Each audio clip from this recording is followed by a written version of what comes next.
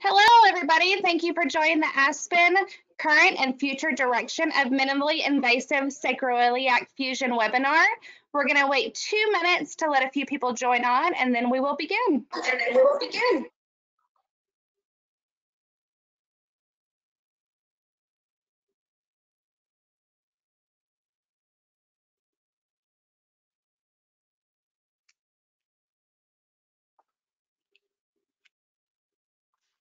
Hello, everybody. Thank you for joining the Aspen Current and Future Direction of Minimally Invasive Sacroiliac Fusion webinar. We're going to wait just a few moments for a few more people to jump on, and then the webinar will begin momentarily.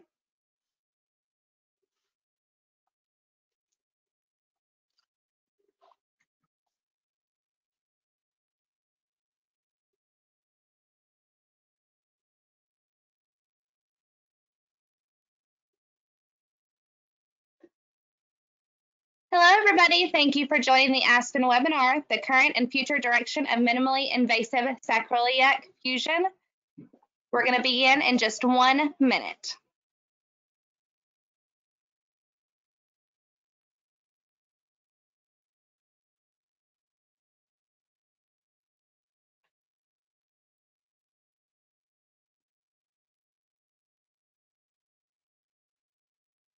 Hello, everybody. Thank you for joining the Aspen webinar, Current and Future Direction of Minimally Invasive Sacroiliac Fusion. I'm going to give it to Kasra now, and we will begin. Thank you so much for that. Good evening, everyone. Thank you all so much for joining us. My name is Cass Amirdelfan. I'm the Vice President of Clinical Affairs for American Society of Pain and Neuroscience, and it's my pleasure to kick off tonight's webinar on the future direction and the evidence with sacroiliac joint fusion. With me, I have the man who needs no introduction, the rock star of our specialty, Dr. Tim Deer, and the two of us are going to co-moderate this session tonight. With sacroiliac joint fusion, um, my practice has changed quite a bit. I'm starting to notice a lot more of the sacroiliac joint pain that the patients have because before um, looking at the evidence, before the, the fact that I was able to do these fusions in my practice, I was only doing some injections and physical therapy for the patients. And uh, I wasn't really diagnosing the sacroiliac joint problems as well as I should have. But it, my practice has changed and my physical examination for these types of diagnoses have changed. Tim, how has it worked out for you?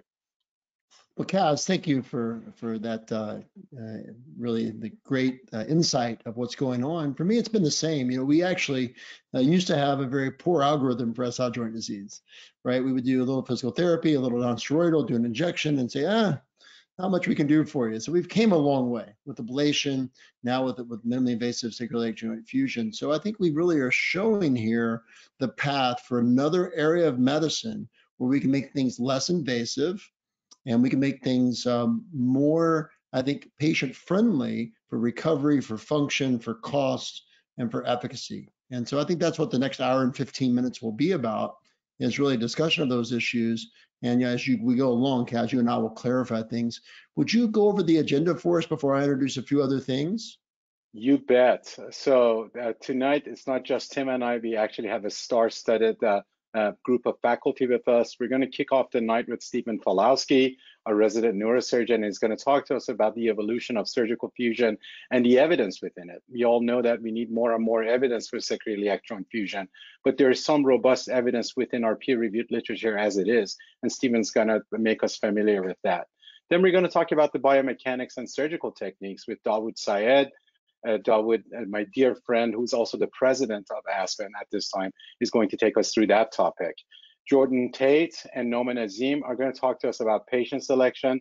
This is a topic that's incredibly important to all of us, and hopefully we can learn quite a bit from these two physicians as well. And we're going to go into risk and complications and have a fireside chat with Youssef Josephson and Pankaj Mehta, who've done quite a few sacroiliac joint fusions in their practices and have a lot of experience, and hopefully we can gain some pearls from them as well. At the end, we can come back and have a panel discussion with all the faculty and answer some audience questions, time permitting, Tim. Oh, Kaz, that's great. And I think that I think hopefully everyone on on the webinar right now enjoys that uh, that really great lineup. Just a few reminders before we start. We will have a DRG-based uh, webinar on June 18th. Uh, I probably once a day I get a question from someone in the United States or Australia or Europe about some technique related to DRG. So I'll be working with Dr. Chakravarthy on that uh, uh, webinar. Uh, you can see the faculty on the next slide, uh, which I think we have a, a, faculty of folks who've all published quite extensively in the area of DRG. Our other webinar, I think this might be the most impactful webinar since the very first one we did with the COVID task force. We had over 2,000 people in the first webinar, and I think we're going to have a similar great uh, turnout for this discussion. Um, obviously, we're in challenging times. Uh, we can hide from these times, but we're going to actually embrace these times. And this is a webinar on race, gender, bias, and pain medicine. We're going to bring it out in the open, have a non-political but very emotional and important discussion. Our, our faculty, you can see on the next slide, is very diverse, as is the topics. And there, I won't go through the faculty there, but uh, it's going to be moderated by Dr. Strand and, and Dr. Chakravarthy and myself. And we're going to cover things like religion, uh, sexual orientation, race, gender, uh, and all those things. And we'll talk about how we can be better to each other.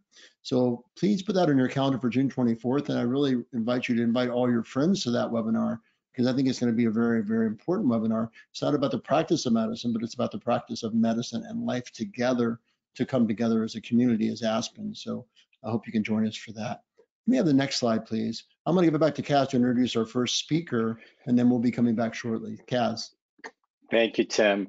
So this man needs no introduction. He's done an extensive amount of research in uh, neuromodulation and interventional pain management. Despite the fact that he's a neurosurgeon, he's contributed quite a bit to, to the evidence within our specialty.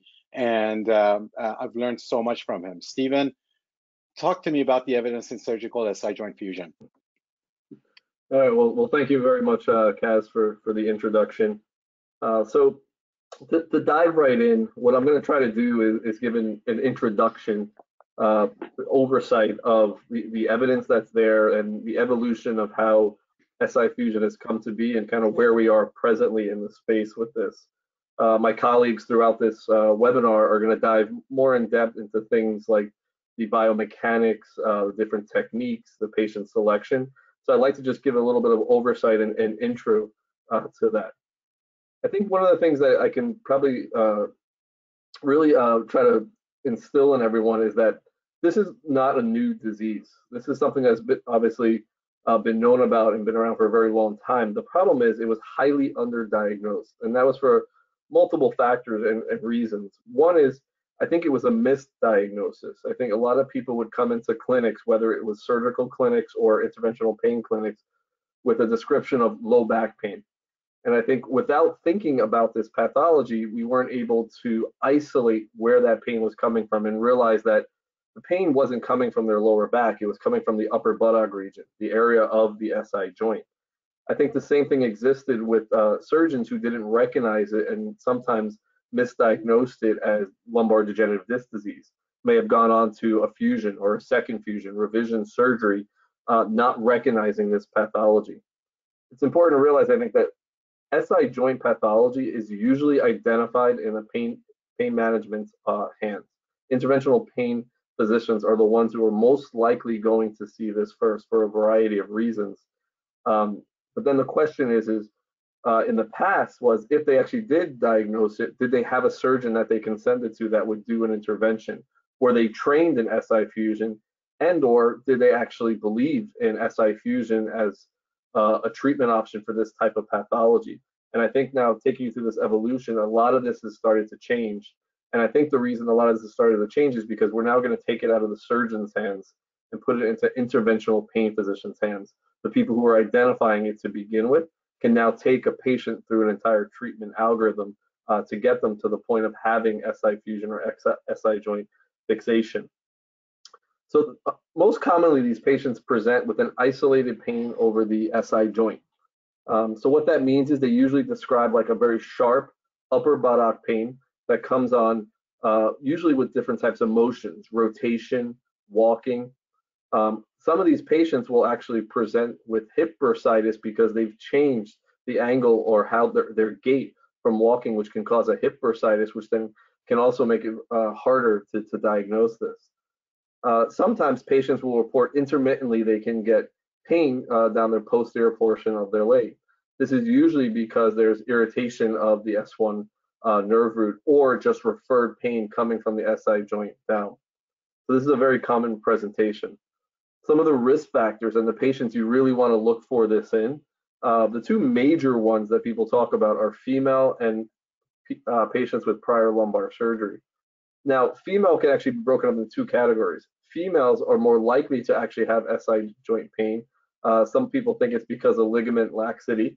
Um, but then also a separate factor within females is pregnancy, which can stretch your pelvis and also give you that ligament laxity, uh, which can make you more prone to mobility of the SI joint.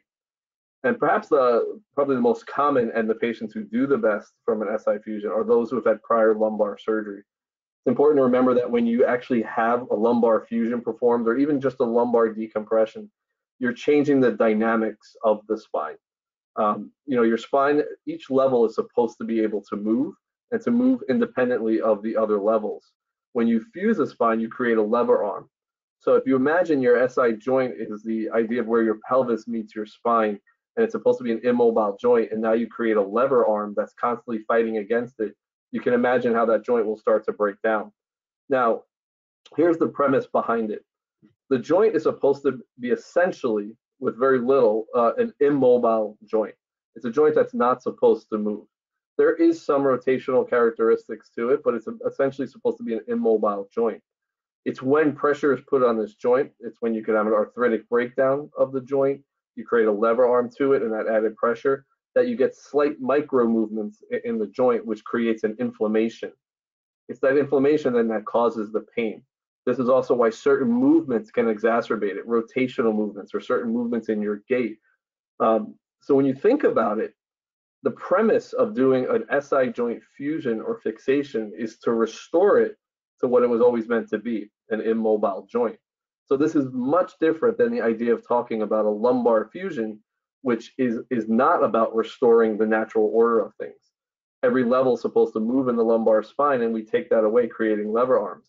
The SI joint is supposed to be essentially an immobile joint, and we're restoring it back uh, to that immobile state. Uh, next slide, please. So let me let me take you through the, the evolution of, of SI fusion over the last 20 years. This all started with a company uh, that came in through a lateral approach. This was only performed and is still only performed by surgeons. It is recommended by them to, to do a three graft fixation as you see here in the picture. Uh, but there are some surgeons who would uh, decrease that to two grafts. Uh, going to go into the biomechanics of uh, SI fusion and fixation, uh, but essentially there were some early studies on the biomechanics that showed that three uh, point fixation from a lateral approach uh, could be slightly more uh, improved fusion rates than that of uh, a two-point fixation.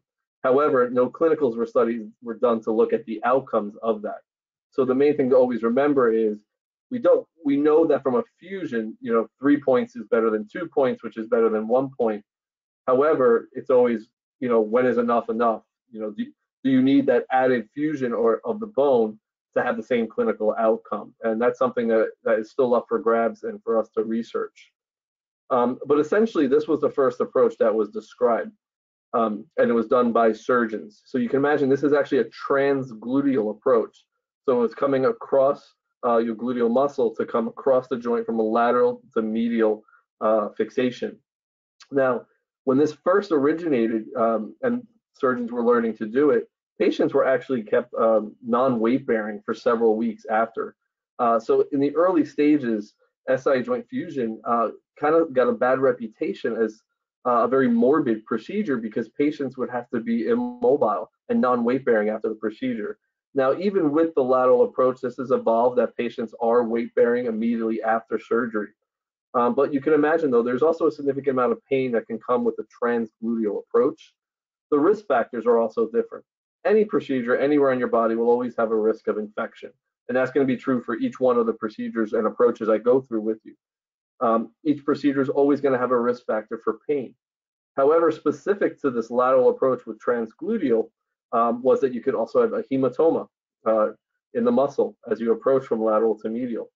There was always the, the uh, sense that you could have nerve impingement. You are actually heading directly towards the sacral foramen.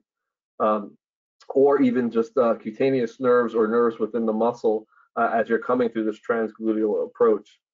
Uh, and there was also some early uh, evidence and publications that showed that uh, by being non-weight bearing or becoming weight bearing too early, you could actually change your gait and develop hip bursitis as an adverse event of this procedure. Now, the lateral approach did evolve now over the uh, the last 10 years. Surgeons have gotten better at it. The introducer sets uh, and tools uh, have improved uh, significantly. And like I said, now patients are full weight bearing following the procedure. But essentially, everything started with the lateral approach with surgeons. Next slide, please. Now, about 10 years ago, the surgeons started developing posterior, or what we call posterior oblique approaches. Um, here's an example of a two screw, two titanium screw fixation via a posterior oblique approach. So what a posterior oblique approach is, is rather than being lateral or what we would call directly posterior, which means directly uh, above the joint, you're actually just slightly lateral to being above the joint. So if you can picture where the joint is, if you were supposed to come down perpendicular on it, you would come in about three centimeters, four centimeters lateral to that and come in at a slight angle uh, to enter the joint. That's what we consider a posterior oblique approach. Uh, this was one of the most common ones used. Uh, this was a Medtronic Rialto system that the surgeons used, uh, something I actually became very familiar with uh, in my training and after I came out of training. Now, some of the advances or, or advantages to uh, using this approach was uh, it was less morbid. You didn't actually have to come across muscle. You would only go through skin, subcutaneous tissue, or fat and be directly on the joint at that point or just on the lateral aspect of the joint. So you wouldn't actually have to dissect uh, muscle tissue for it. So now you, you limited the idea of non-weight bearing. You limited the idea of the pain that comes with a transgluteal approach.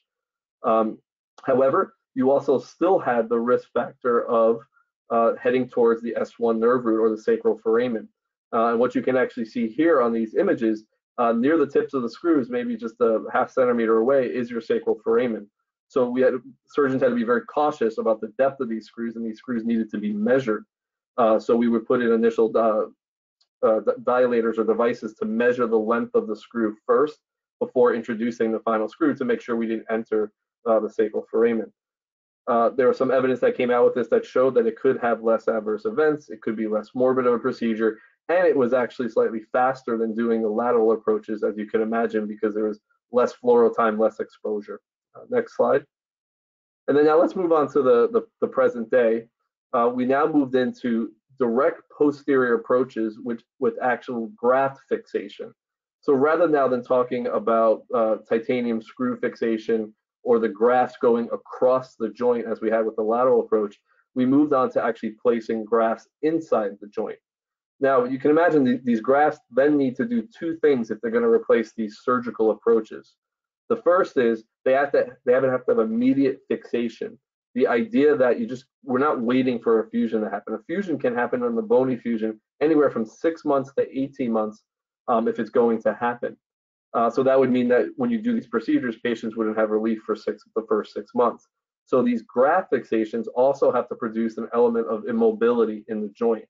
Uh, this was done by different approaches, whether it was by converging the grafts or by the shape of the graft that as, as it's placed into uh, the, the SI space there, um, the joint, uh, that the, the, the uh, shape of the graph would prevent the mobility or rotation around it.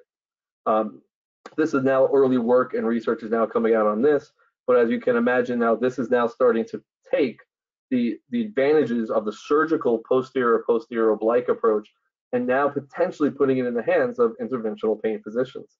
So next slide.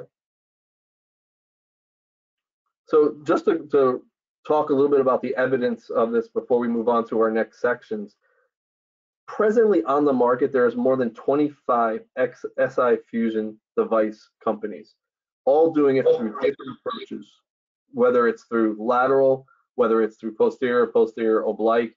Some companies offer multiple approaches with their devices. Now, the early data all revolved around that lateral approach we talked about with the surgical company, where they introduced two multi-center randomized control trials, so level one evidence comparing it against conventional medical management, and it was far superior to it.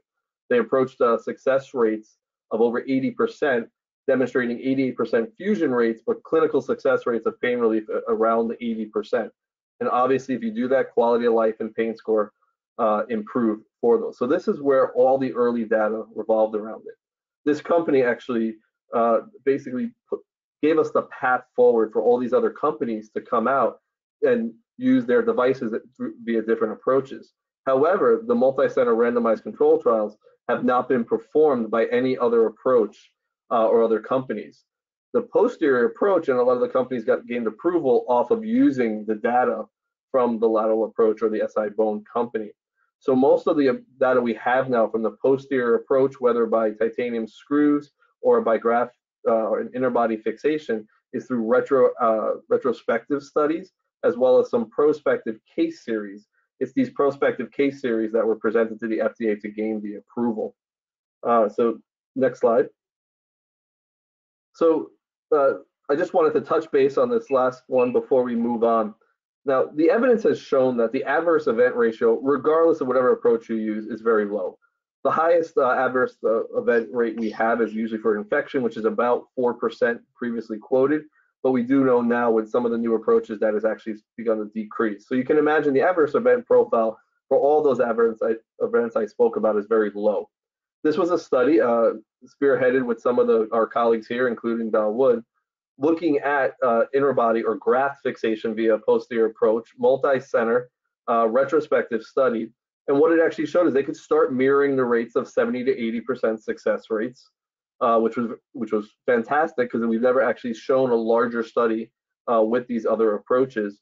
Um, but what it also did show, interestingly enough, was they looked at different risk factors, female uh, as well as lumbar fusion, and they showed that the patients with prior lumbar fusion actually did the best uh, with these approaches and these uh, interventions, which shows you that even surgeons have highly underdiagnosed uh, this pathology and this problem. Uh, so next slide. Uh, so this is where I'm going to end up passing it to my colleagues, uh, but I'll ask Tim and Kaz, is there any questions you have at this point? Yeah, I am going to ask Steven, I'm going to ask you one quick question, and then we're going to go into Dawood with Kaz introducing him. The question is this, uh, you know, we have always talked about uh, doing intra-articular injections as a diagnostic block with local anesthetic and arthrograms to define the anatomy. Uh, and, just very quickly, what's the what's the predictive value of a diagnostic SI joint injection with local or an arthrogram? Um, well, I will say that uh, as a surgeon who has performed this procedure, uh, doing the surgical approaches first, and now moving on to these minimally invasive interbody uh, uh, or graft fixation approaches, the one criteria we've always looked for, besides the physical exam features and maneuvers, uh, was a response to a, a, diagnostic injection.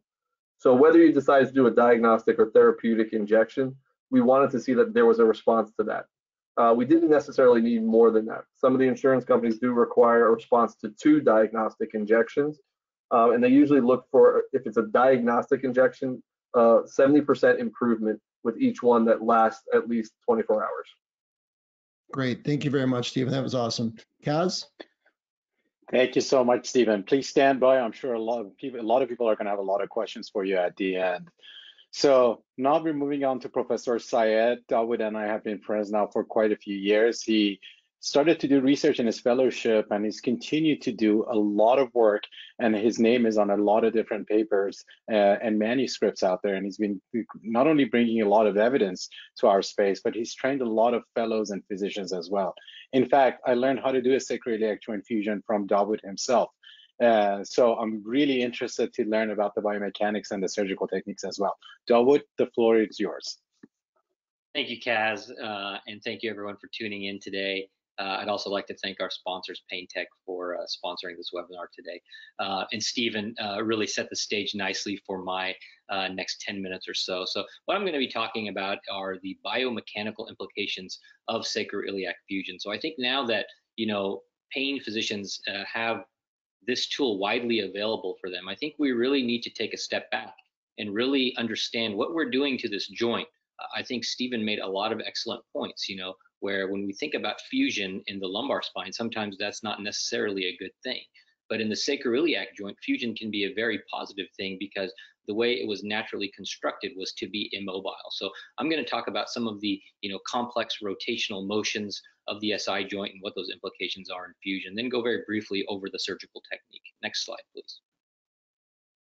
So again, like I mentioned, the sacroiliac joint um, has been studied for uh, many years. Um, and really a lot of the study, when you look at um, studies in uh, basic anatomy and physical therapy um, literature, really look at what are the ranges of motions and which which ways and axes does the SI joint move in. So there's really three main axes that the SI joint moves in. Probably the most um, um, common or most uh, the joint, the motion that really makes the biggest difference is nutation. So that's motion of the sacrum in relation to the rest of the pelvis and hips. So that's a kind of a forward motion uh, or a flexion type motion. So that really is a motion that happens most at the lumbosacral pivot point, which is around the S2 foramen or the midpoint of the joint. Next slide, please. So again, uh, when we talk about the SI joint, uh, one way I like to describe the SI joint is in segments. So you talk about the upper part of the SI joint as the S1 segment, the middle part of the uh, the joint, which is the largest part, uh, most uh, most commonly is, is referred to as the S2 part of the joint. And then the most inferior part portion of the joint where we commonly access for a lot of our, our intra-articular joint injections is referred to as the S3 segment. So again, when you look at some of the various um, research that's been done, where is most of the motion? So again, most of the motion and rotation of the sacrum uh, is accountable from nutation and counter nutation around that transverse axis at the S2 region. So for me myself, when I was looking at, you know, as Steven mentioned, you know, 35 different systems there and many now posterior and designed for interventional pain physicians, I really was looking for a system that really addressed the problem where I see where most of the motion occurs. And for a lot of these patients, the motion and the pathological motion happens at the mid portion of that joint at the S2 level. Next slide. So the biomechanical studies, I just put this slide here just to show how complex it is to really measure motion uh, in the sacroiliac joint for biomechanical studies. Uh, actually, Dr. Falowski and myself are now involved in a biomechanical study looking at uh, a posterior fixation uh, fusion technique. Uh, and I can tell you it's very complex. They have to put many sensors in different places on the pelvis using infrared sensors to find even just millimeters of range of motion changes when you perform a fusion. So again, when we talk about what kind of ranges of motions and axes they measure, they're typically looking at flexion extension, lateral bending, and axial rotation. Next slide, please. So this is an interesting study that was done, and again, as Steven said, SI Bone has has produced most of the literature in the space right now. This was one of their biomechanical studies, and I just put it here just to show you why I think you know to achieve fusion and stabilize the joint, it doesn't take a lot because there's really not a lot of motion there. So if you look at this, they looked at, you know, the three most common um, ranges of motions or axes of rotation, which talk about flexion extension, lateral bending, and axial rotation. The blue mark shows the range, natural range of motion in an intact cadaver. Um, what they found is that they had to sacrifice the posterior segments to create um, a pathological state. And you can see when they create that pathological state in the SI joint, you see a significant increase in the range of motion. What they did in this uh, study was then place three large screws from a lateral, a lateral approach to create a fusion or stabilization of a joint. And what you can see is that the greatest change happens in that flexion extension. But again, we're only talking about a few millimeters of improvement. Uh, you look at the changes that happen in lateral bending and axial rotation, they're very minimal, even when the posterior ligaments are completely sacrificed, which even in a very diseased state is probably not going to happen in a human being. So again, I think SI fusion or SI bone did work, does work very well, but perhaps it's overkill. That's why these more ultra minimally invasive approaches may be equally as efficacious in many ways, even superior, because it does not take a lot to create this uh, stabilization of the joint. Next slide, please. So uh, when we talk about uh, SI fusion and stabilization, we also have to talk about arthrodesis. This is really a concept that's very common uh, and very well known by our orthopedic colleagues and neurosurgical colleagues. But for most of us that are interventional pain physicians, physiatrists, and anesthesiologists, we really don't understand arthrodesis very well. So what arthrodesis is, is defined as the art artificial induction of joint ossification between two bones by surgery. And if you go back to medical school, uh, the three principles of bone grafting include osteoconduction, osteoinduction, and osteogenesis. And osteogenesis has the highest fusion potential. But there are other implications that we must think about from a clinical standpoint. When we think about achieving arthrodesis in our patients, we have to take into account the patient's bone density. You know, our surgical colleagues really look at tobaccoism. All of these things can affect the ability for the joint to fuse. Um, drill or no drill. Uh, I think all of us think, um, you know, using a power tool that are, not surgeons, it's very cool. Um, it makes us feel uh, like we're really doing something. But I think there's also some things we need to think about when you do use a drill. Are we actually inhibiting the uh, the ability for arthrodesis to occur? So a lot of the orthopedic literature has looked at bone drilling uh, when trying to achieve fusion, and you can't increase the temperature above 47 degrees centigrade with even short times of cortical bone drilling, and that can also cause uh, a reduced regenerative capacity and osteonecrosis. So again, if you want arthrodesis to occur there, perhaps drilling is not the way to go. Again, the data, uh, this will have to be studied further, but is again something to think about when you're looking at all these different systems and techniques. Next slide. So another thing I think is really important when we think about the biomechanics is now that we're most of us uh, in the audience are moving towards using allografts in a posterior approach is looking at the graft window. Uh, I, I, show three of the co most common uh, grafts used on the market right now in our space. And again, what the graft window means is, you know, the space within the graft itself, which arthrodesis can occur around. So again, you can see the different variation in size and graft windows between uh, many of these different types of products on the market. Um, with some of the, you know, literature and uh, data we, we we've derived from the lumbar spine um, space, we know that a larger graft window typically leads to higher rates of arthrodesis and fusion. Next slide. Here's, uh, I'm just going to pivot now out of biomechanics and we'll talk a little bit about just the surgical technique. Uh, this is the typical instrumentation for uh, one of the platforms out there that we'll be talking about, our sponsor, uh, PainTEQ. So again, a lot of these instrumentation look uh, very similar amongst the companies. I do really uh, like this. It's a very streamlined approach. Again, what you'll have is you'll have a tissue dilator, which is um, uh, that blue instrument at the top. Um, and then the, the device right below it is the working cannula. So with this platform, actually the tissue dilator and the cannula are all uh, done in one step. The, the, the, the, device in the middle um, is the decortication um, device where you do to decorticate the joint prior to in placing the implant.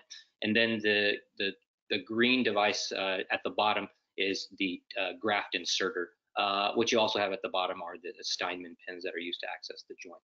Next slide, please. So again, I'll just walk through some of the steps from a case I had done a couple of weeks ago. So again, this is the surgical technique for the posterior single point, uh, single point S2 technique. So again, as with many of the procedures uh, that we do in our space, the most important and vital step of this is the first step, and that's putting that Steinmann pin into the SI joint. Again, for those of us that do sacroiliac joint injections, we know that getting precisely in the joint can be a challenge. So again, with this, you can't really fudge that step. You have to make sure you are in the joint. You don't want to have a, have the Steinmann pin going too medial into the sacrum or too lateral into the ilium. So again, here you see that first step uh, where the Steinmann pin has accessed the joint, then you confirm in the lateral to see that you are within the area of the sacroiliac joint. Your safety margin is that sacrum. Again, you can, uh, you try to not go anterior to that, but keep in mind that the sacroiliac joint will go anterior past the sacrum, but you know you'll never get into trouble if you stay posterior to that anterior margin uh, of the sacrum. Next slide.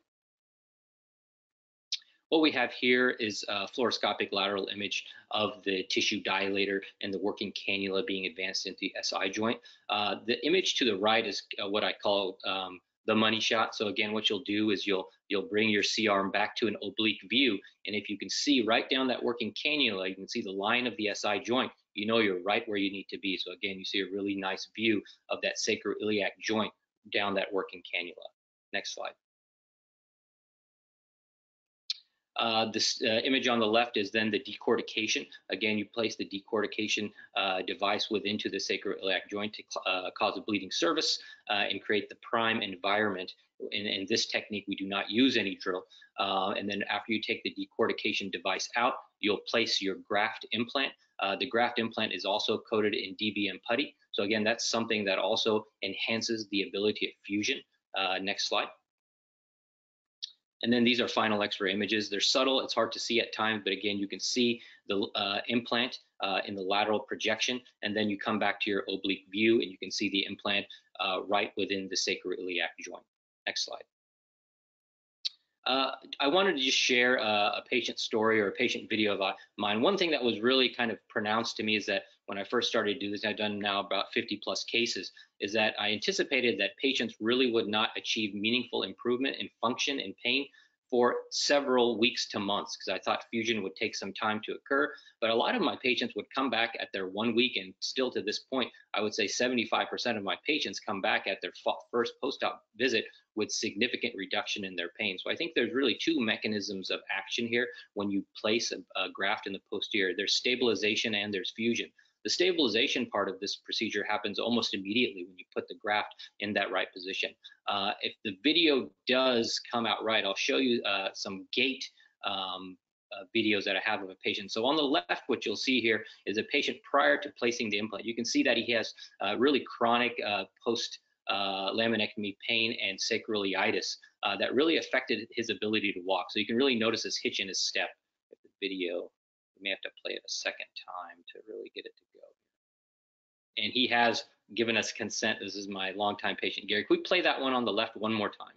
Let's see if we can get to play it. And so you can see quite a bit of a gait. You're gonna have to take my word for it, uh, but he did have a significant abnormality to his gait.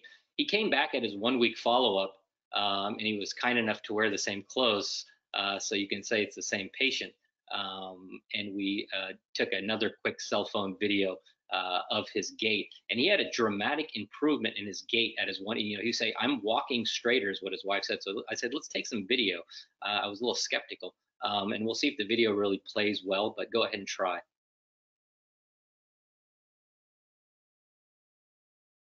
And it's a little sped up. I swear that I did not speed that up on purpose, but he was walking quicker uh, and without that gait. You'll have to take my word for it. Um, for the sake of time, we, we won't play it again, but we'll go on to the next uh, next panel. Thank you, everyone.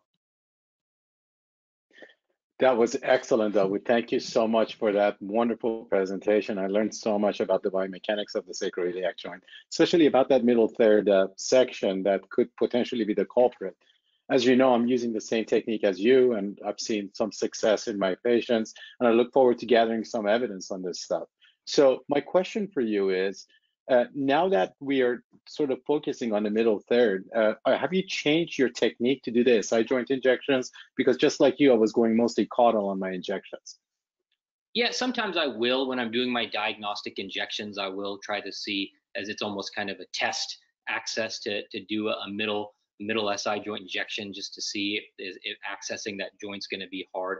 Uh, a lot of the times I won't. As we all know, even if you put a quarter or even a fourth of an ml of, of, of, contrast into that SI joint, you see a beautiful line go all the way up to the superior aspect. So I think to get a true diagnostic injection, you can access it wherever you can get in.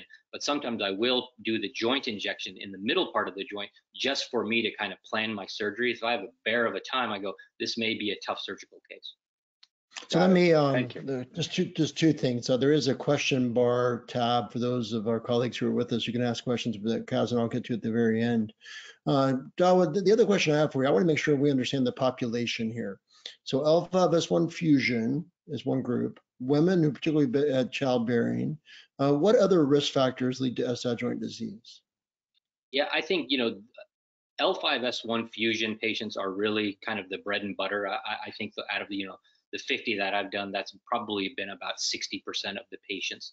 I think, you know, women are also another um, especially ones that have had multiple pregnancies, you know, a lot of the laxity and changes that could happen within the sacrum. But then patients with scoliosis, I've also found them to also, you know, especially they have it on the contralateral or even the ipsilateral side of their curve. Those patients also have a high tendency to develop sacroiliac, uh, sacroiliac dysfunction. So I think those three have really been, at least in my practice, the biggest areas. When I see L5S1 fusion, and these patients still have lower back pain. A lot of my stim patients, you know, these patients are doing really well, but then they come back and they still got this annoying pain and the stim rep is just going crazy trying to program them and cover sacroiliitis. What happens is that they stop using the stim for what it was working well for, which was their neuropathic pain and trying to cover their mechanical pain.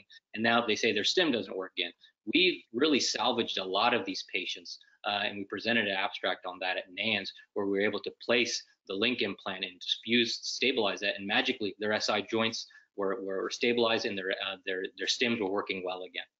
Thank yeah, I think you've shown you've shown the point that we have to treat multiple comorbidities in these patients, and we can do that all minimally in most cases. So I think it's a great uh, great area we're in. So Kaz, let's, let's just transition to our next panel with uh, Dr. Tate and Dr. Azeem. I'll let you introduce that panel, please. Sounds great. Thank you, Dawood. So here's the topic that we all need help in, patient selection. This is something that uh, um, is up and coming, especially with sacroiliac joint dysfunction. So we have one of the biggest key opinion leaders in the country who are going to tell us about their own patient experience and the algorithms they use in order to be able to pick the right patient for the right procedure. Jordan and Nomen Azeem, dear friends of mine, the floor is yours. Great. Thank you so much, Kaz. Uh, thank you, everyone, uh, for joining us tonight.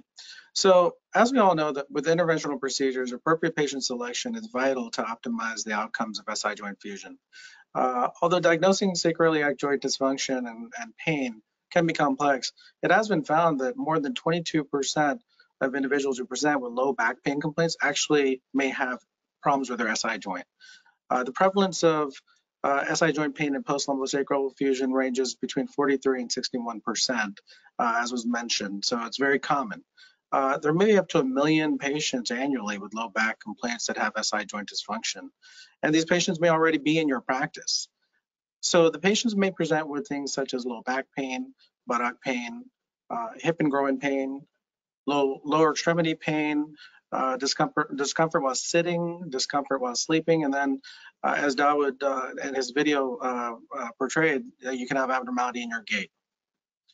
Having a selection algorithm may be appropriately may help appropriately identify these SI joint patients. And we started this algorithm with taking an accurate and comprehensive history of a patient's musculoskeletal symptoms.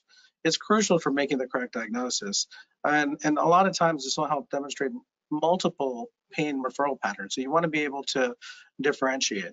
The impact of the symptoms can also affect a patient's functioning and, and must be assessed to really guide this therapy. Uh, this becomes specifically important in distinguishing SI joint pain from other sources of low back pain, such as uh, myofascial pain, facetogenic pain, discogenic pain, also hip pathology or things such as uh, piriformis syndrome. Uh, next slide, please. And generally, the physical examination begins when the patient is ambulating into the exam room with assessing the patient's posture, movement, and gait. Uh, provocative maneuvers can also elucidate the SI joint as a pain generator. Uh, individual sensitivity and specificity of some of these provocative uh, tests is poor individually, but several examination, uh, examination techniques in, in conjunction uh, should increase, uh, should be able to increase your clinical suspicion.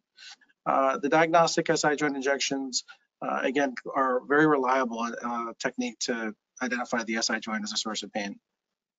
So conservative treatment can include medications such as uh, NSAIDs, physical therapy, SI joint injections, and ultimately SI joint fusion for refractory cases.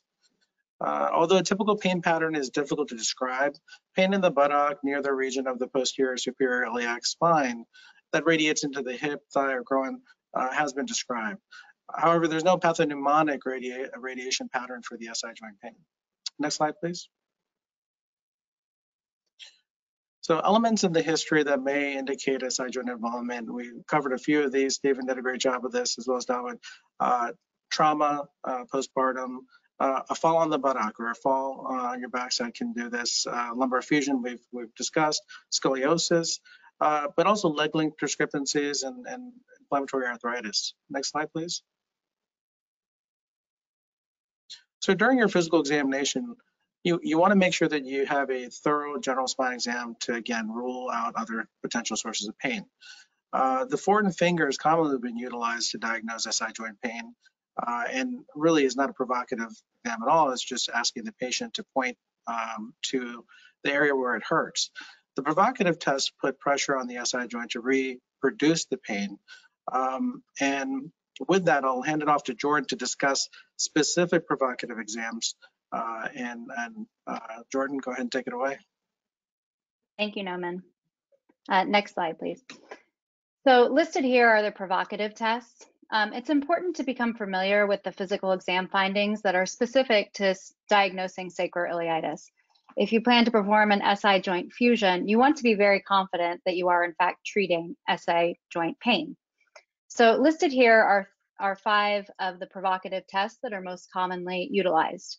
Uh, the first is the FABERs, which actually stands for flexion, abduction, and external rotation, otherwise known as a figure four test. Um, it's important to perform this test and then ask the patient what symptoms they are having. Um, it is a, considered a positive test if they are getting reproduction of posterior sacroiliac pain um, after performing a FABER. The other tests, thigh thrust, Gaenslen's test, compression, and distraction um, are important uh, tests to really maximize your skills on. Um, it has been said that you need to document at least three of the five of these tests being positive. Um, one of these tests should be the thigh thrust or the compression. So you want to make sure that you understand how to perform these tests, especially on patients who have poor mobility and um, may require some uh, accommodations in order to best perform these tests in your clinic. Um, if you are able to confirm that at least three of these provocative tests are positive, you've really enhanced your sensitivity and specificity of your diagnosis. Um, it's been stated in a couple of different um, articles that the sensitivity can be as high as 91% if you are able to document uh, three of these provocative tests, and the specificity as high as 78%.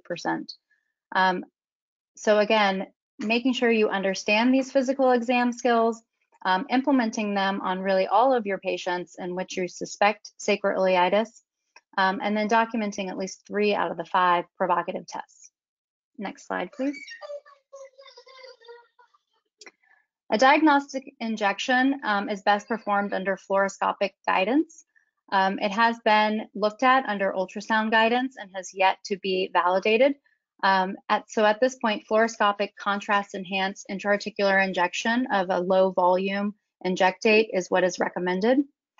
It is um, best if you can document that a patient has at least 75% pain relief or more. And this is going to be most likely um, that the patient is experiencing SI joint pain. Uh, a double confirmatory block is recommended and in many payer guidelines is required. Um, and overall, this may enhance your patient selection. Next slide. So once you have uh, the patients in your practice that you've identified that you believe have sacroiliitis based on their historical um, complaints, and um, understanding the patient population that they are in, be it the female patient, the female patient who's been pregnant, or somebody who has had a lumbosacral fusion specifically to the sacrum. Um, once you have those patients selected and you've performed your provocative exams and you've gone on to your diagnostic test, you've really identified some of the best candidates. So the best candidates are going to be the ones that have the highest pretest prob probability of having SI joint pain. Um, somebody who you have been able to document that they have hypermobility or subluxations. And this might be something that you as a um, pain practitioner feel comfortable documenting, um, or it may be something that you need to rely on your physical therapist to assist you in uh, these maneuvers to better understand if somebody has a hypermobile SI joint. Um, of course, you want to offer this to patients who are motivated for pain relief and who are capable of understanding their post-surgical expectations. Um, any patient that is being considered for an advanced technique should be um, offered more conservative treatment therapies first, such as physical therapy, uh, bracing, uh, steroid injection. All of these are reasonable uh, workups to offer the, the patient the best um, candidacy. And overall, if the patient is still experiencing chronic pain and impaired function, impaired quality of life, this is going to um, isolate your best candidates for SI joint fusion. Next slide. So if you are interested in adding SI joint fusion into your practice and you're not really sure where to start, um, I think the best thing is to get the education and the discussion rolling with the patients um, by giving them the content. So if you have in your office the availability of models, posters, pamphlets in the waiting room, if you can direct them to your website where you can post videos, with educational content, you're going to be able to um, get more patients who are interested in pursuing SI joint fusion. Most of my patients I find are interested because it's minimally invasive. Involves a small incision, outpatient with minimal sedation. So using these catchphrases can be helpful in um, talking to your patients about minimally invasive SI joint fusion. Something I do in my practice is hosting after hours seminars to invite patients. And when we have um, a specific um, procedure that we want to discuss, having a patient come and share their testimonial has always been the best way to get patients excited about exploring new emerging technologies. Next slide. Well, that was excellent. So Thank you, yeah. Jordan. Thank you, Nomen. That was wonderful. Uh, I actually have a question for Nomen. Uh, uh, Dabu talked about how when patients have fusions, they uh, translate some of that axial pressure to the sacroiliac joint, and he's found that there are a lot of patients with failed back surgery syndrome who suffer from sacroiliac joint dysfunction. Do you find that patients who have had um, hip arthroplasties and knee arthroplasties with or without gates have the same issue as well? Absolutely. Um, so again, anything that's going to potentially affect the gait is going to put more stresses on that uh, sacroiliac joint posteriorly. And it could be something as simple as just, you know, varying posture, but also, you know, the gait and getting up out of seats and, and going up and down steps. All of that is going to stress out that SI joint a lot more. So absolutely.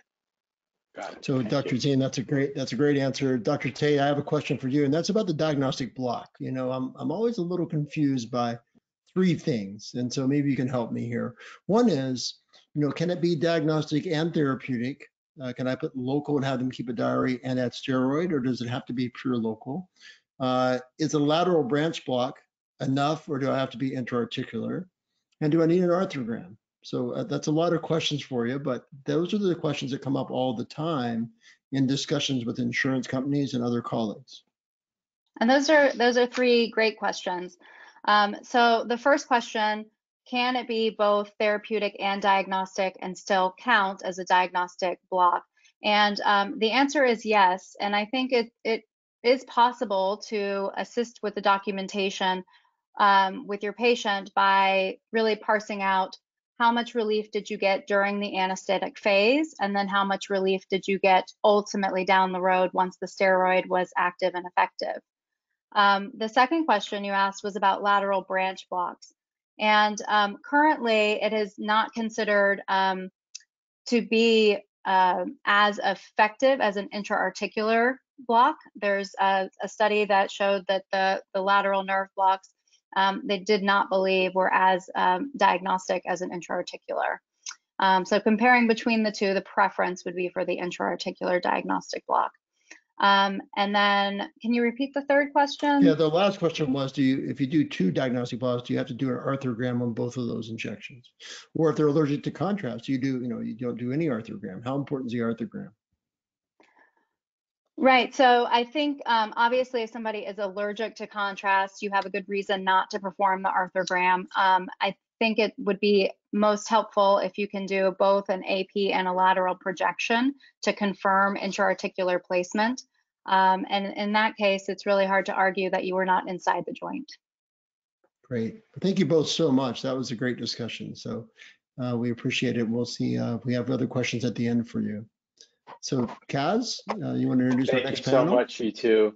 So please stand by for the questions at the end. Now we're getting to the last section of our webinar. My two good friends, Youssef Javis, J- Josephson and Pankaj Mehta, who between the two of them have a lot of experience with uh, sacroiliac joint fusions. And we're going to have a fireside chat with these guys about risks and complications. You know, because of your experience in the operating room, we'd love to know some of the do's and don'ts and learn from some of the pearls that you've picked up over the past few years. Tim, would you like to have the first question? Uh, Absolutely. So Pankaj, I think one of the questions that really a lot of people are a little bit um, uh, confused about is how do you keep this uh, graft in place? You know, we, we know when you have a lateral approach by a surgeon with three large screws, it's going to stay in place. But when we do any of the methods we're discussing tonight, uh, what's the secrets to avoiding the complication of a non-fusion? So um, that's a great question, Tim. I think, you know, I'd just like to add, first of all, you know, uh, great conversation, great interaction with the other speakers. I think, I think it is really important for all the interventional pain physicians on the call, on the webinar to understand that this is really an evolution. I think we moved really from a lateral approach to a posterior approach. And, and that's, that's the new thing. That's the next generation SI fusion technique. And uh, one of the things I'll say is that you know we we make sure that once we have installed the graft, um, deployed the graft rather, um, to actually have some uh, make sure that we actually give the patients certain restrictions. And so usually we try to kind of make it pretty standard because um, you know I've said it before, about 20% of my practice is implantable therapies, and kind of makes it easy in my ASC for the nurses to follow the same protocol as SCS and other implantable therapies. So we know no bending, lifting, anything for six weeks. We make sure that the patient doesn't um, go back and start their NSAIDs straight away. And um, and one of the things we make sure that you know we follow this patient up for at least a dressing change or um, wound check uh, within 10 days, and and make sure that we kind of reinforce these activities. Um, so that's really the key, you know, um, to make sure that once once this fusion is kind of like has it been accepted as part of the deployment of the implant, um, these patients then start to kind of like feel better. Great, great. Kaz? If, if That I could was add, excellent. Thank you. Oh, yes, please. no, if I got you. so I also uh, uh, add a uh, an SI joint belt um, for patients also uh, that I have them wear for uh, for the first month or so after the implant. I think that that helps with this with also providing some stability to the to the joint and for the patient as well. They usually appreciate that, um, and I find that the, the adherence to it is pretty good as well. Oh, great, great, great that's insight. Uh, great advice. Absolutely. Kaz? Very good, Pearl. Yeah, so I'm wondering about anticoagulants. As you know, we stop anticoagulants for most of the implantable technologies that we do because we're all afraid of bleeding uh, inside the spine and even in that area. So I want to know how you guys manage anticoagulants and bleeding in these patients. Joe, let's start with you. Yeah. So, um, so again, also to kind of echo uh, Pankaj, thanks for having me, and uh, this is a really important conversation that that we're having here. Um, so I, I, I treat this also like any of the other implantable therapies that we utilize. Um, so I, I will have patients uh, stop their anticoagulation consistent with uh, with the guidelines that uh, that are present for uh, SCS and others. Um, I, I've been kind of more like, lax on aspirin. Um, I do allow patients to continue uh, low dose aspirin. Um, and uh, but for the most part, I really just follow the same guidelines as uh, you know for any implantable therapy. What if you have bleeding inside the wound itself as you're doing the procedure? How are you handling that? So again, the uh, the wound is a, a fairly deep wound. So um, if I have bleeding that I can't stop, um, which again really is fairly rare, uh, I will put like a Surgicel in there. Uh, put a Surgicel with uh, usually will help stop the bleeding pretty quickly, um, and then you can kind of have that peace of mind. Uh, I find with these posterior techniques that uh, you know that that bleeding really doesn't seem to be much of an issue overall. Um, you know, I actually was I, I my background is as, as, a, as an osteopath and then as a PM&R doc, I was always interested in the SI joint. And uh, I actually took the um, the SI-BONE course. And we were never allowed to do it, which was always kind of a bother to me. I always wondered why I couldn't do it. But they did allow some pain docs to go and take the course. And when I took the course, uh, it was immediate in looking at that, that there is probably a risk for tremendous bleeding with that lateral approach. But what I found with the posterior approach is that we've utilized, especially with this without drilling, that the uh, the amount of bleeding that you get is minimal, if any. So if there is some bleeding, um, I do use a you know use something like uh, like CellCept. Yeah, I, I agree with So- uh, so- I agree with Joe. I think I think really the most oozing I, I would use the word oozing I see Yeah. is skin, skin edges. You know, you always want to keep a Bovie ready. This is a this is a implantable therapy. You want to do it with some uh, Bovie um, setup ready. So, uh, but the most bleeding I've seen is really just from the skin edges and just a couple of buzzes. So Pankaj, let me jump in here for a second, uh, and I have a comment, then I want to ask you about. The comment is, one of the reasons that we have found that interventionists are really the perfect people to do the posterior approaches is because we're not near the sciatic nerve. We're not near major vessels. I mean, this is a much safer procedure, and I, and I really think we need to look closely. Do we really need to even discontinue anticoagulants? We need to study that because I've found in a lot of areas we don't, but probably we do, but we really haven't studied that very well in the sicker, older patient population. My other question though involves infection, and I'll be interested to hear both your perspectives on this and with Pankaj. There's really two issues here. One is if you put a graft in and it gets infected, that would be somewhat of a mess. And so how would you handle that? What would your precautions be? And how would you treat that? Secondly, and I'll, I'll give that first part to Pankaj and then Joe, what about the, the, the graft itself? How do they test to make sure the graft donor uh, is safe from an infection standpoint? So, uh, uh, and then Kaz can ask, ask a follow-up after that. Yeah, um, Tim, I think I think this is a this is this was always a kind of a debate in my mind, and this is not a like a hardware implantable therapy like we are used to in other other parts of our other implantable therapies we do in our space. And so one of the protocol or algorithm which I was following in my practice was to basically do a, a skip protocol or an OR protocol of uh, perioperative antibiotic, and that was it. I, I never used any postoperative antibiotic. Um, we, we try to standardize all implantable therapies for infection, like you know Hibiclens wash and you know nasal misoprostol, and um, you know keep be very vigilant about any other things such as you know uncontrolled diabetes, double gloving, and, and usually try to follow the same you know the NACC guidelines as for any other implantable therapy.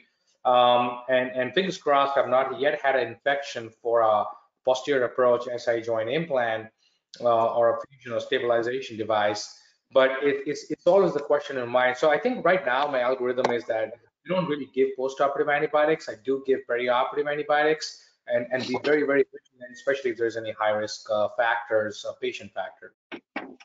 Excellent. Joe?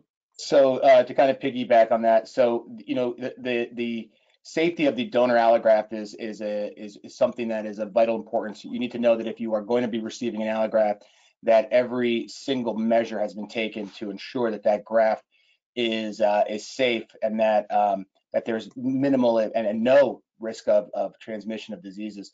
So to prevent that, the allograft uh, implant has undergone several levels of uh, serology testing that is performed, which includes HIV testing, hepatitis C, and there's a, a whole uh, a whole panel of tests that are done. And again, this is in compliance with the US FDA and in accordance with the AATB uh, and applicable applicable state guidelines as well.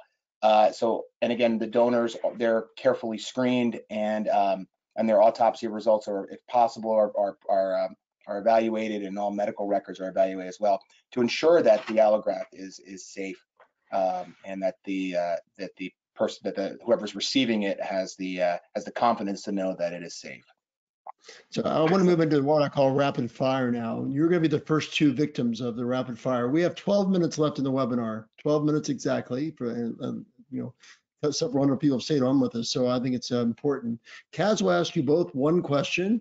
You have one minute to answer the question and then we'll, we'll call, call it into this panel and we'll go back and ask the other panelists one question apiece. So Kaz, That's one right. question, one minute. Sounds good. In fact, I have, we have a series of questions here from the audience. We should ask all the panel to turn on their microphones. I know not everybody can get on camera because of the video limitation, but here's a rapid fire question for the two of you. What kind of anesthesia do you use for this for these procedures? I do a deep max sedation.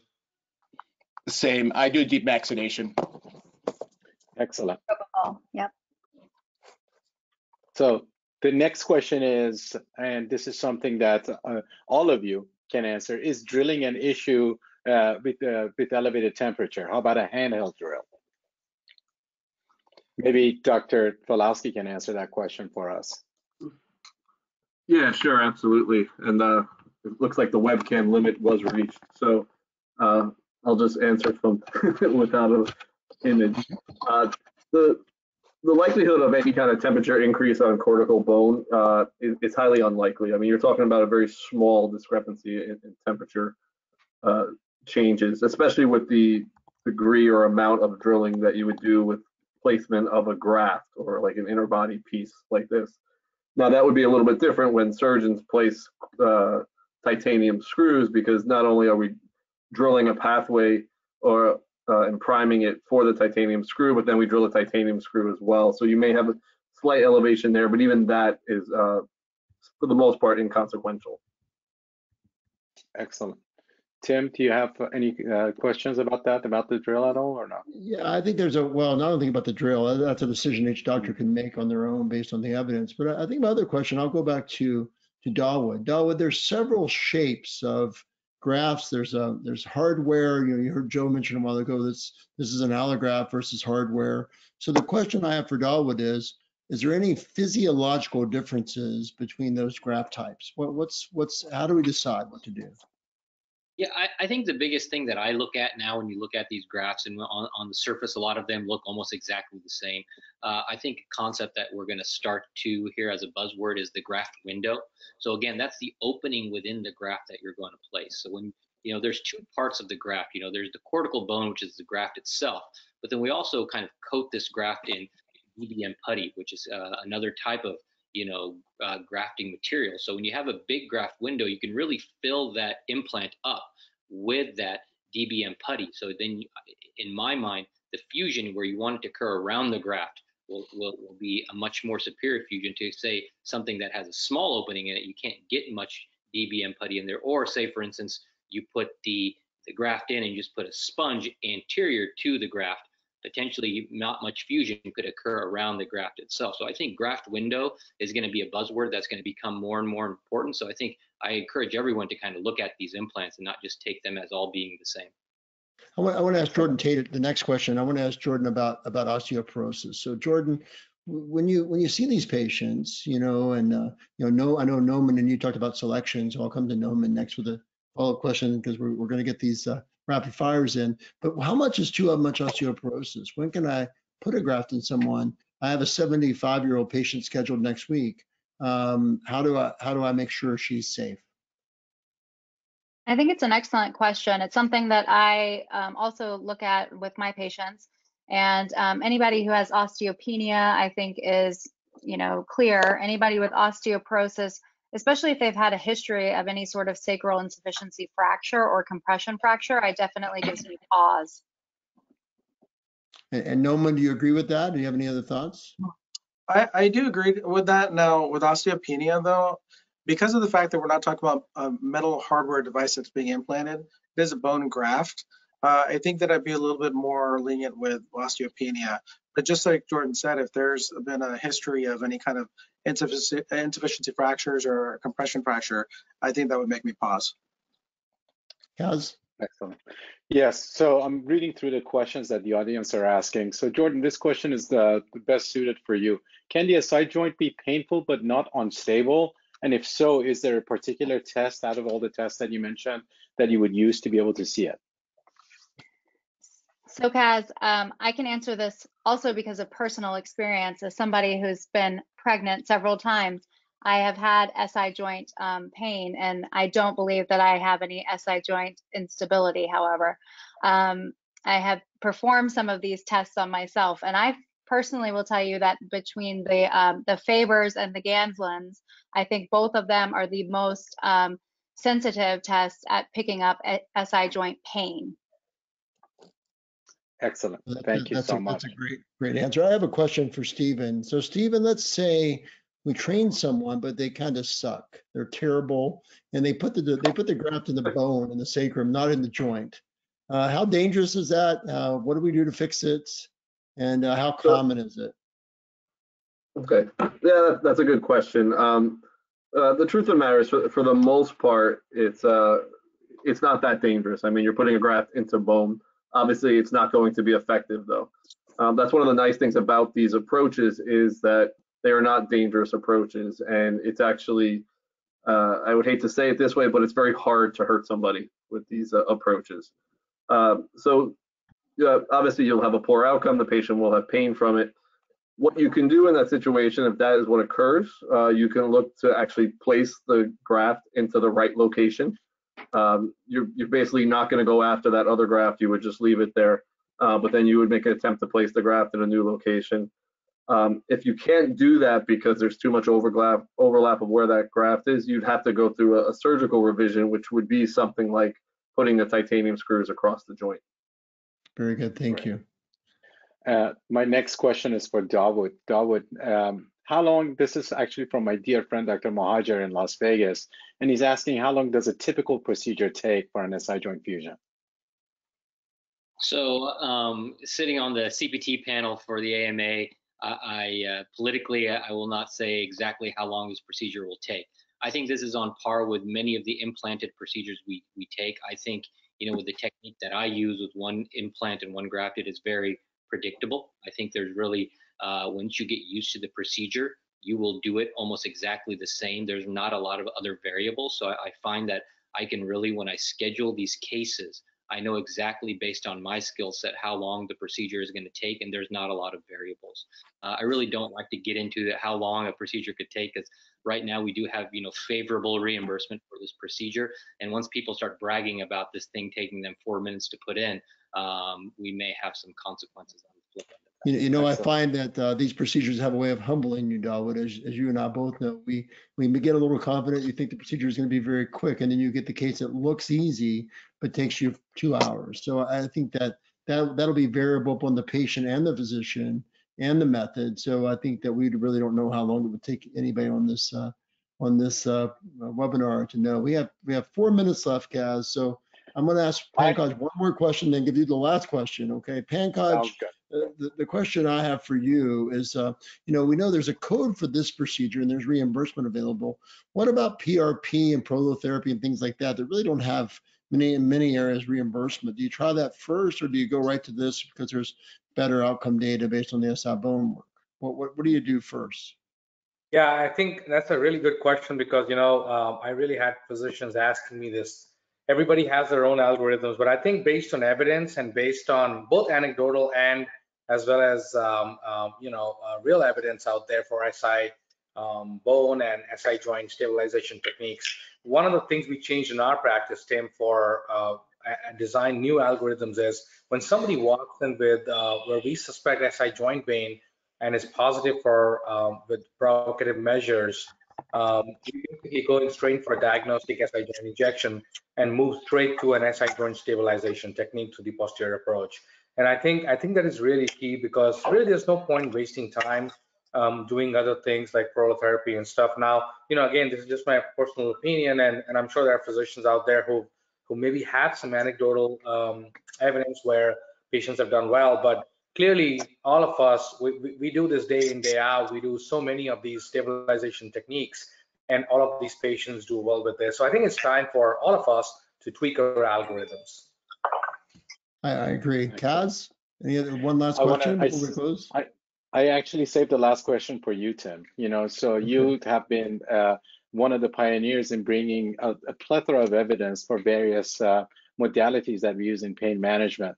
SI-BONE has uh, simply started this whole process with joint fusion, and there's a lot of good evidence for the, for the lateral approach. What would you like us to do in terms of gathering evidence for the posterior approach in the near and long-term future? Well, Kaz, I love this question and I'll answer it, then I'll have you close the webinar. So, you know, what really frustrates me sometimes is that sometimes we do a poor job. And so uh, you mentioned SI-BONE, Medtronic also has a lateral fusion device, and Steven mentioned some of those. And they've done some studies that, that led to their approval, uh, particularly SI-BONE. Uh, now it's time for us to do prospective studies uh, that are in multiple centers. So we see that it works in different people's hands uh, in a prospective fashion, looking at safety and efficacy, not just because you know we want to find out if it works or not, but also who does it work in? Who's a good candidate for this? We heard from both uh, Nomen and Jordan great things on selection. Steven talked about the, the methods, but I do think the studies are needed, and we don't need a huge number of patients. You know, 200 patient prospective randomized study. And I also want to look at what about combined therapies? What about SI fusion and SI in interspinous spacers and, or mild or, or, you know, stimulation? What about we mix these minimally invasive things together? So there's so much work needed. And as you know, I'm trying to design now a multi-center radiofrequency ablation study for lumbar spine that still hasn't been done yet in the way it needs to be done. So the short answer is right now, the evidence for this procedure is good, but very anecdotal. And we really need prospective randomized study. So I encourage those of you on this webinar tonight, uh, most of whom stayed with us throughout the entire time, to join together, uh, get a protocol approved, and then go forward with the study. So I think that's going to be a, the future of the field. The good news is, since it's approved and patients meet criteria, it can be done in the setting of an insurance approval with an proper um, investigational approval from your institution. So I think we can do this together, Kaz. Absolutely. I love that answer. And I love the fact that you brought up that a lot of our patients do have multimodal pain generators in their lower back in those areas. And we all have to be cognizant of that. So uh, with that, I'd like to go to the next slide, please. I want to thank all the faculty for joining us. You guys did a phenomenal job. Please don't forget about our meeting um, uh, on September 17th for the think tank and also the annual meeting for ASPN that's happening in the same hotel in Miami from September 18th to September 20th. And we, we also have a cadaver course on September 20th for the young guns and the fellows who may be interested in joining us. And of course, we're going to do sacral electron demonstrations at that as well. Next slide, please. And last but not least, I'd like to thank our sponsors, PainTEQ, who uh, got us all together for us to be able to learn from each other and learn from the pearls from the experience of all these physicians. Tim, thank you so much for letting me join you on as a moderator on this uh, webinar. This was excellent. I'd like to wish everybody a good night. Thank you, Kaz, and good night, everyone. God bless, and we'll see you uh, next week. Bye-bye. Bye.